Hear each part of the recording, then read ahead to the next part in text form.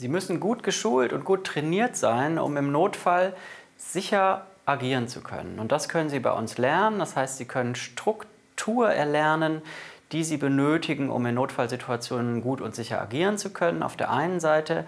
Und was Sie auch brauchen, ist, dass Sie im Team gut und sicher agieren können und die Teamdynamik verstehen und beherrschen. Und auch das können Sie bei uns im Rahmen unserer Simulationstrainings üben und ähm, mitnehmen in den Arbeitsalltag in Ihrer Klinik oder in Ihrem Arbeitsbereich.